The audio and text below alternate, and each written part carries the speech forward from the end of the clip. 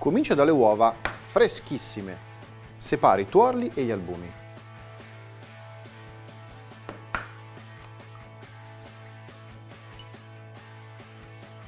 Tengo da parte gli albumi e comincio a montare i tuorli con lo zucchero. Se preferisci puoi realizzare il tiramisù con le uova pastorizzate montando i tuorli con uno sciroppo di zucchero scaldato a 121 gradi. Faccio partire le fruste e monto fino ad ottenere un composto bello chiaro e spumoso. Basta così. Abbasso la velocità delle fruste e unisco un cucchiaio alla volta al mascarpone.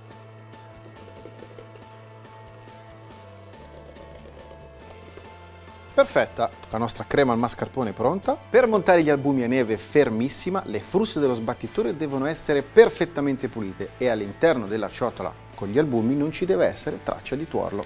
Cominciamo a montare. Aggiungo poco alla volta lo zucchero.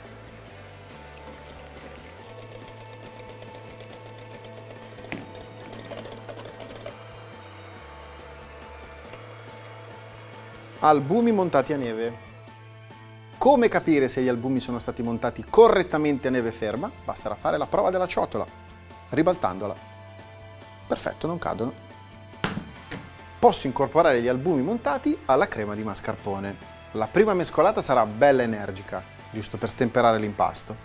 Quelle dopo, molto delicate, con movimenti dal basso verso l'alto.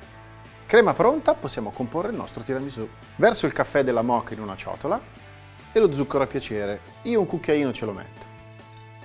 Comincio con una generosa dose di crema sul fondo della pirofila, la distribuisco per bene, inzuppo i savoiardi e faccio il primo strato. Continuo alternando crema e savoiardi.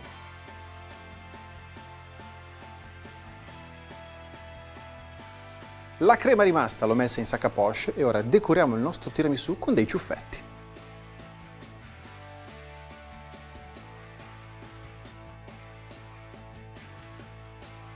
E in ultimo una spolverata di cacao. Il tiramisù è pronto, ora lo lasciamo rassodare in frigorifero per almeno due ore.